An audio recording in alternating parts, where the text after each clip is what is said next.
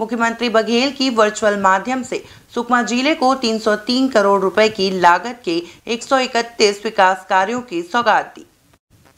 मुख्यमंत्री भूपेश बघेल शिलान्यास का कार्यक्रम में वीडियो कॉन्फ्रेंसिंग के माध्यम से जुड़े। जिला मुख्यालय सुकमा के मिनी स्टेडियम में आयोजित कार्यक्रम में उद्योग मंत्री कवासी लखमा ने 303 करोड़ सड़सठ लाख रुपए की लागत से 131 विकास कार्यों का लोकार्पण और शिलान्यास किया। लखमा ने तिरसठ करोड़ छप्पन लाख सत्ताईस हज़ार रुपए की लागत के 33 विकास कार्यों का लोकार्पण और 240 करोड़ 10 लाख इक्यासी हज़ार रुपए की लागत के अंठानवे विकास कार्यों का शिलान्यास किया न्यू वीडियोस की अपडेट पाने के लिए सब्सक्राइब करें इंडियन न्यूज़ को और बेल आइकन को दबाएँ।